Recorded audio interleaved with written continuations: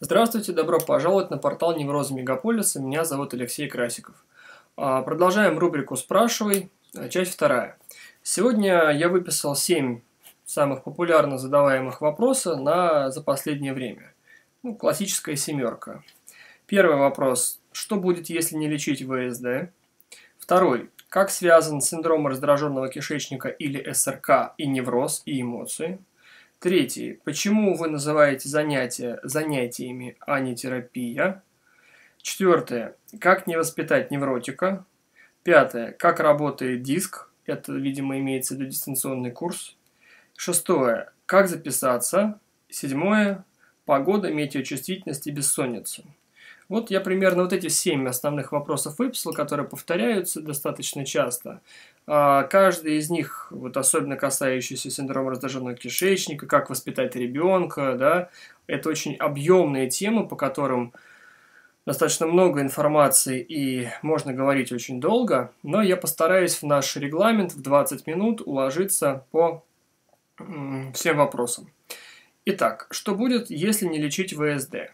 Во-первых, для новичков, потому что мои клиенты и гости нашего портала знают, что ВСД – это синдромы комплекс, это термин, а, под которым мы понимаем и врачи понимают наличие тех или иных вегетативных жалоб, начиная с тахикардии, кома в горле, нехватка воздуха, дисфункции кишечника, чувство потери сознания, э, повышенное артериальное давление, общая слабость, головокружение, да, такая общее разбитое плохое самочувствие, потеря сна, потеря аппетита и так далее. То есть все это а, при обследовании, когда человека еще обследуют, не находится какой-то конкретной проблемы или какой-то конкретной болезни. И в Советском Союзе ставили диагноз ВСД, что значит вегета, сосудистая, то есть и вегетативная система, и сосуды, то есть по жалобам похоже и на сосудистое, и на вегетативное расстройство. По сути дела, оно так и есть. Только как самостоятельного заболевания вегетососудистой дистонии никогда не было. То есть ВСД или вегетососудистая дистония – это жалоба на вегетативное состояние, но не болезнь. Поэтому, дорогие мои, вы все время не могли найти лекарство от ВСД, потому что его не было. Это жалоба. То есть это симптомы ВСД, вегетососудистые симптомы. А под ВСД мы всегда понимали неврозы. Органические или органные функциональные неврозы. Или неврозы э, эмоционального характера, фобические неврозы, тревожные неврозы. Да? А, обсессивно-компульсивные расстройства, невроз навязчивых состояний, доминированием обсессии или компульсии, то есть доминированием навязчивых мыслей, допустим, там о страхе смерти, навязчивых мыслей о сердце, навязчивые мысли о дыхании, навязчивые мысли о потере сознаний, навязчивые мысли потерять над собой контроль или сойти с ума. Вот все это в купе вместе с телесной проблемой и называются неврозы. Поэтому, что будет, если лечить ВСД? ВСД нету и лечить его невозможно. Есть невротические расстройства, которые классифицируются, в принципе, ну, я могу вам объяснить примерно так. Есть три э, составляющие. Это телесная составляющая невроза. Что такое телесная составляющая? Это телесная симптоматика. Кишечник, это что? Это дыхание, э, ощущение, да? Это тахикардия, давление, головные боли, а, всевозможные чувств, кожные чувствительности, это тремор, это пот, холод, головокружение, все, что мы чувствуем телом. Это первая часть, это телесная симптоматика. Вторая часть – это мыслительный процесс. То есть человеку может быть свойственно в неврозе думать о том, что вдруг он умрет от инфаркта, вдруг он умрет от инсульта, постоянно думать о сердце, постоянно думать о инсульте, постоянно думать о какой-то ненайденной болезни, постоянно думать о каких-то навязчивых идеях что он сойдет с ума, или что он потеряет над собой контроль, или вот-вот там что-то плохое сделает, это тоже один из вариантов невротического развития в плане, это называется обсессии, навязчивые мысли. И есть поведение. Поведение мы можем распределить как ритуалы, где мы перепроверяем или что-то делаем для того, чтобы получить какой-то успокоительный результат. Допустим, переставляем чашки, возвращаемся домой, расстегиваем, застегиваем что-то, да, либо поведение избегающего характера, когда мы обходим стороной лифт, обходим стороной какой-то какие-то обстоятельства, потому что да, и верим в то, что там с нами что-то случится. Например, в лифте задохнемся, ходим пешком, мотивируя тем, что физкультура полезна. А, это так, но тем не менее, да. Избегаем открытых пространств, улиц, площадей, избегаем самостоятельного передвижения по городу, ходим только в присутствии близких лиц или в наличии телефонов, транквилизаторов и так далее. И это все поведенческие аспекты. Вот, то есть тело, мысли и поведение. Собственно говоря, терапия невроза и направлена на эти три концепции. Об этом я хорошо рассказываю своим клиентам, которые занимаются персонально или в группах, и также об этом я рассказываю в дистанционном курсе. Итак, что будет, если не лечить? Теперь уже не ВСД, не ВСД, а невроз. Если не лечить, допустим, телесную симптоматику, которая у вас уже началась, а, по моей, по моей практике и практике моих коллег, мы отмечаем... часа. Спасибо. Мы отмечаем примерно следующую перспективу и так, так называемый прогноз. Если у вас уже а, начались вегетативные симптомы, где вот вас это тревожит и беспокоит, кишечник, дыхание, тяжесть, боли, обследование не находит какой-то болезни, а вам плохо, голова кружится, слабость, разбитость, ни с того ни с сего тахикардия или давление, или головокружение, дисфункция диарея, да, э, бессонница. Если уже это началось, то, скорее всего, невротический сам конфликт и невротическая проблема уже запустилась. И, скорее всего, пройдена уже определенная пограничная черта, где, скорее всего, вам рано или поздно придется прибегнуть к работе над собой. Да? Это как кариес. Если он начался, то рано или поздно вы придете к стоматологу. Вопрос только, придете ли вы сразу, и это будет достаточно быстро и не так дорого и безболезненно. Либо вы затянете, будете тратить кучу времени и время до тех пор, пока уже вы из дома выйти не сможете, и пока вы уже не будете верить в то, что у вас какая-то болезнь, и психотерапевту, мне в частности, придется потратить больший объем времени, соответственно, больше ваших денег, чтобы правильно вам объяснить и э, чтобы вы правильно начали работать с мыслями, с поведением и рефлексы уже менять более сложно. Проще говоря, чтобы было дешевле и чтобы было быстрее – чем раньше вы обратитесь к, специалисту за помощью, тем дешевле и быстрее вы справитесь с этой проблемой. Если вы будете тянуть, то, соответственно, это будет дольше, в пересчете на рубли это будет дороже. Поэтому, а что будет, если не лечить? Ну, просто, скорее всего, это будет потихонечку ухудшаться. Сначала там там закололо, там заболело, там страх, там страх. Потом все это будет трансформироваться сначала в это, потом панические атаки. Панические атаки закончатся или вы научитесь их не бояться, начнет соматизироваться кишечник, потом станет страшно за это, потом за это. Как правило, невроз, он как ком, он нарастает в прямой пропорции о том, как развиваются ваши обстоятельства жизни, которые, собственно говоря, привели к этому неврозу. Бывает так, очень редко, что обстоятельства жизни резко меняются, и э, человек говорит, я исцелился вдруг, непонятно почему. Потому что изменились некоторые обстоятельства, которые были спас, поспособствовали тому, чтобы внутри вас или внутри ваших обстоятельств кое-что изменилось, и конфликт внутренний потух на время или навсегда, смотря какие обстоятельства.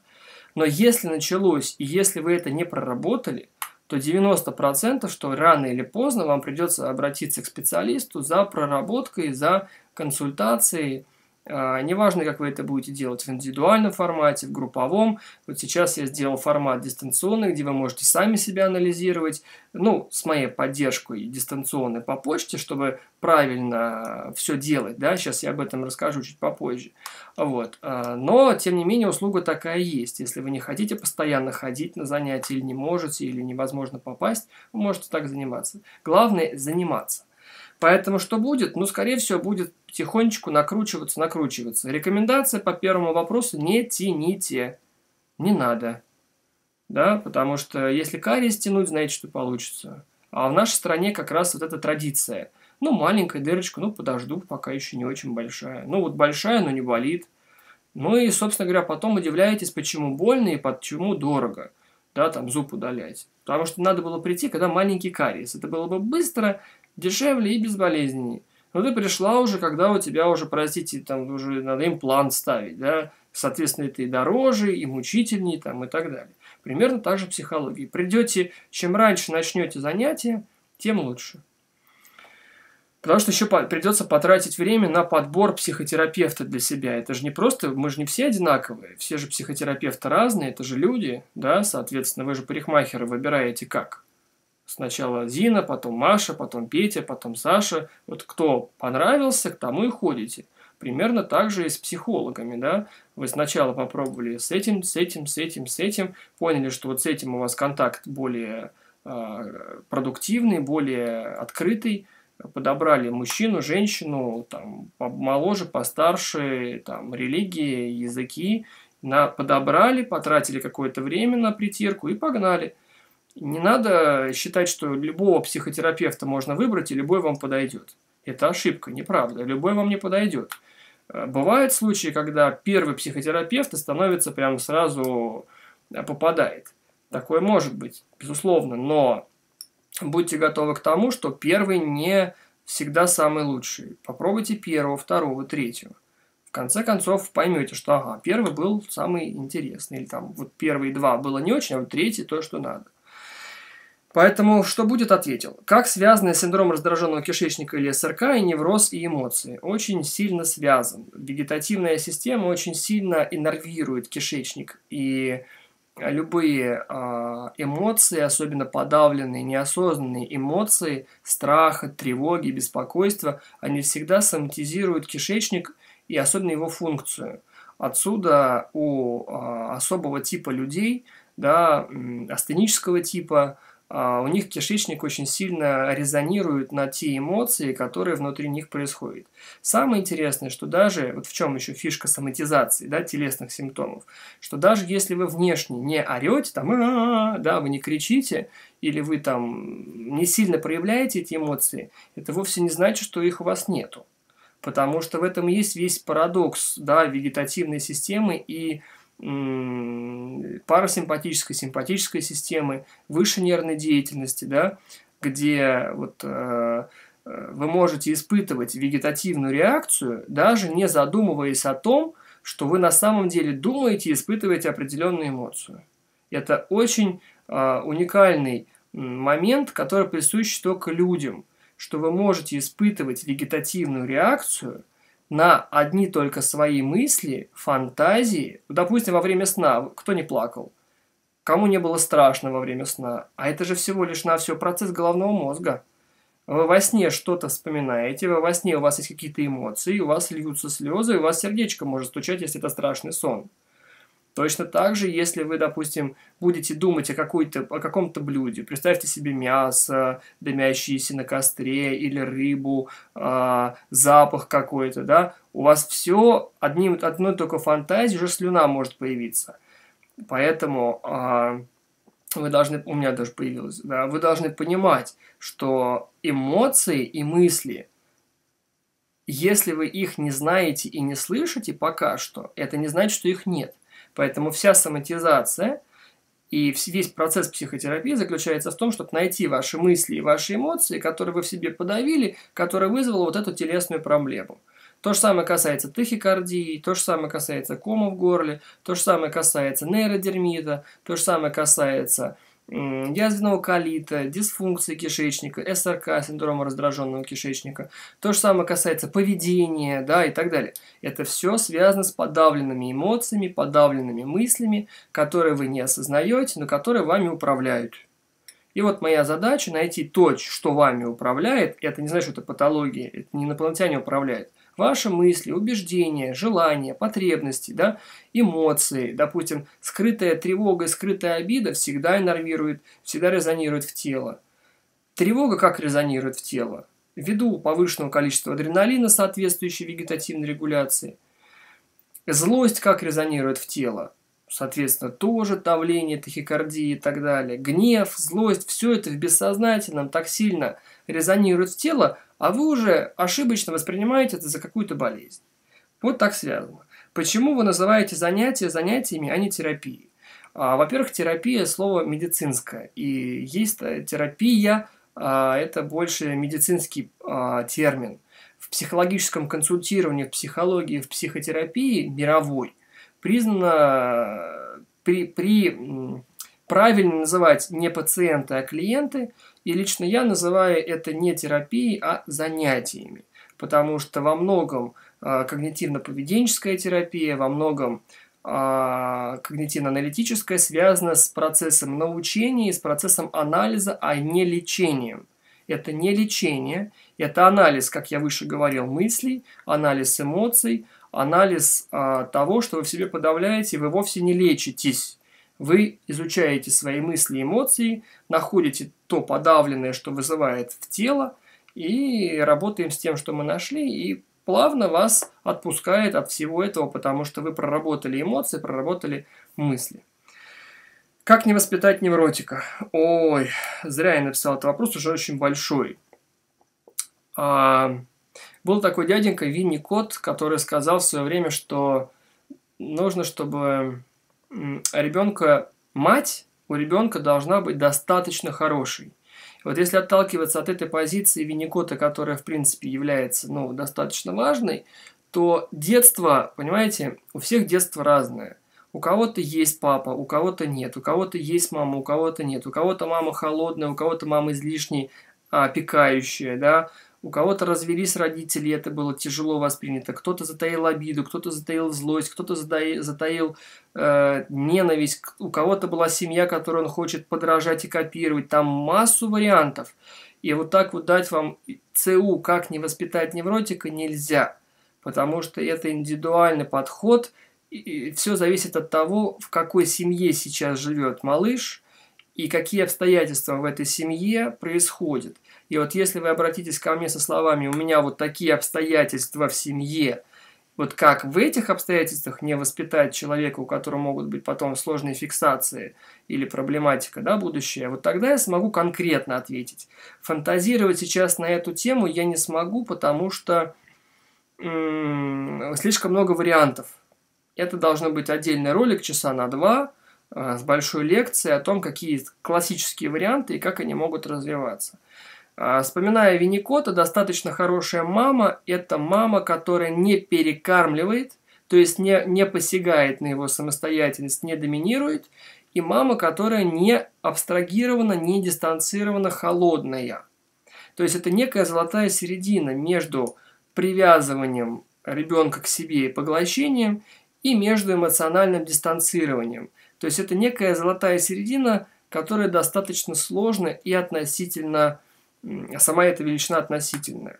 Но если вы хотите конкретно про себя спросить, как не воспитать невротика, вы должны мне а, рассказать обстоятельства, а, которые сейчас происходят в семье, и тогда я вам скажу непосредственно по обстоятельствам. Как работает диск? А, не диск, это дистанционный курс, нет никаких дисков. Диск это всего лишь носитель. А, я записал на 4 DVD, 7 почти часов вот подобного видеоматериала по каждому вопросу, начиная от панической атаки, кома в горле, тахикардии, нехватки воздуха, т -т -т -т -т -т -т, и так далее, как с этим работать, упражнения, потом вторую часть поиск, анализ внутреннего конфликта, тоже упражнения и тоже видео, плюс еще к этому сделал методические пособия, и это некие ингредиенты. То есть это четкие, конкретные, качественные ингредиенты, которые вы просто читаете и видите на диске. Но просто их посмотреть на диски и просто их прочитать мало. Ими надо уметь пользоваться. Вот как ими правильно пользоваться под вас, можно только сделать тогда, когда вы получите эти ингредиенты, напишите мне, там, Леш, я получила, что теперь делаем? Выписываете, отвечаете мне на вопросики, я говорю, бери вот это, это, это, потом это и это, делай по вот такой инструкции сделала, написала такие-то результаты, то-то, то-то. Я говорю, окей, добавляем теперь это, добавляем это, а это уже убираем. То есть я вам высылаю на DVD и на, и на бумажных носителях ингредиенты, из которых вы потом вместе со мной через почту подбираете под себя конкретный состав. Потому что нельзя записать диск и нельзя записать, написать книгу, которая подойдет всем. Помните, я об этом всегда говорил, просто вы меня многие неправильно понимаете сейчас, что вы говорите, вы же говорили, и что диск и книга не исцеляет, а сейчас сами сделали. Правильно, просто вы меня не можете услышать или я плохо объясняю. Я не написал диск или книгу, которая исцеляет.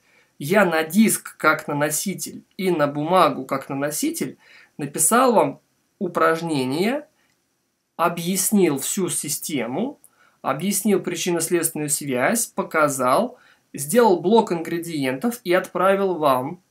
Вы эти ингредиенты получили. Я уверен в том, что они качественны, что вы ничего лишнего не взяли, потому что вот они ингредиенты. Вы их получили, и я говорю, теперь мы берем и смешиваем в твоем конкретном случае это и это, это и это. И вот тогда это эффективно. Просто на бум смешивать все это не будет эффективности, потому что ингредиентов в интернете масса. Ингредиентов в кавычках в книгах масса, но ни у кого не получается нормально смешать. Моя работа вам выслать качественные ингредиенты и качественно под вас подобрать сочетание. Я надеюсь, теперь вы поняли, что это за диск и что это за дистанционный курс. Что DVD и бумага – это носитель. А подбирать мы будем в электронном виде. Так, так, так, так и так. И каждый сможет работать. И работать и над симптоматикой, и над панической атакой, и над страхом задохнуться, и над агорафобией. Там есть как раз про агорафобию, как научиться передвигаться. И работа с мыслями, и с агрессией, и с тревогой, и с странным с поведением в очереди собирать продукты в пакет быстрее, почему я тороплюсь все время, почему боюсь потерять сознание в магазине именно. Там все это рассказано. А, как записаться? Можете позвонить Максиму по телефону, который есть на сайте 495-920-7087, если мне не изменяет память. А, написать ему ВКонтакте, написать ему в Скайпе. Вся запись через него, потому что я перегружен. Можно записаться на разовые консультации. Есть на сайте расписание, в котором есть слово «свободно». Это значит, есть окошко, на которое можно на разово проконсультироваться. И на, за разовые консультации часто получается найти и достаточно хорошо найти суть проблемы, э, да, и дать конкретные рекомендации упражнений. Следите за свободными местами. Есть постоянный набор в группы, да, там 5 месяцев мы занимаемся. Группы мне очень нравятся, потому что у меня получается охватить человека 8-10 сразу и дать им большое количество материала, и они э, прогрессируют замечательно. Ну и последнее. Погода, метеочувствительность и бессонница. Я бы вам рекомендовал прекратить находить связь погоды и невроза. На погоду, допустим, на давление атмосферное реагирует любой человек, вне зависимости, есть у него невроз или нет – Просто у астенического типа э, высшей нервной деятельности реакция на погоду более э, яркая, более в слабость, более в головную боль, да, но это никак не связано с самим неврозом. Не надо, не, не, не путайте, пожалуйста, вот эти, вот эти вещи, это очень важно. Поэтому метеочувствительность и сам по себе невроз, он э, немножко разные вещи что у вас есть метеочувствительности, нет невроза, что у вас есть невроз, нет метеочувствительности, это совершенно разные истории. Соответственно, вы просто лишний раз, как вам свойственно, а, придумываете некие а, сочетающие факторы. Ага, вот у меня случилась паническая атака, когда автобус проехал слева направо, и потом, когда у вас автобус слева направо проехал, вы скажете, ой, мне сейчас начнется, и испугаетесь, и начнется, как бы, да. Или там, вот меня сегодня какая-то слабость, погода сегодня плохая, меня будет крыть, и вы уже от этого вам уже плохо. Вы просто видите неправильную связь. Либо вы э, просто приобрели такую астеническую историю, да, связанную с невротической э, проблемой, что действительно э, погода действует на вас так вот в слабость, да, в астению. Потому что у вас и так невроз, соответственно, еще и погода просто дополняет. Но это никак не коррелируется как прямая пропорция, как прямая зависимость. Бессонница, конечно, с неврозом связана напрямую, потому что вот то, что я говорил выше, да, э, вытесненные мысли, вытесненные эмоции, все это не осознается, вот вы не можете заснуть, суетитесь, тело напряжено, это все связано с подавленными эмоциями, с подавленными мыслями, которые вы не знаете, поэтому вы крутитесь, не можете заснуть. А то, что подавленные мысли и подавленные эмоции вызывают тахикардию, к которой вы прислушиваетесь и думаете, что у вас с сердцем проблемы, это неправильно. Вы чувствуете телесную реакцию на эмоции, которые вы не осознаете. И моя задача вытащить из вас эти эмоции и мысли, чтобы они не резонировали так в тело. А если резонировали, то вы этого не боялись на первом моменте. Ну и все, да, собственно говоря. Вот такой короткий сегодня у нас 25 минут «Спрашивай 2». Спасибо большое. Читайте наш канал, смотрите, читайте материал, смотрите другие ролики. Я постарался их сделать для вас более информативными. А, записывайтесь на личные, на групповые и на дистанционные консультирования в разделе дистанционный курс, это как раз дистанционный материал, высылается вам те самые ингредиенты. В разделе расписания разовые, в разделе услуги все описано подробно. Звоните Максиму, чем смогу, помогу. А, скоро ко мне присоединятся несколько моих коллег, которые будут э, дополнять мою работу в разных направлениях психотерапии. Спасибо, до встречи. Ваш Алексей Красиков. Счастливо.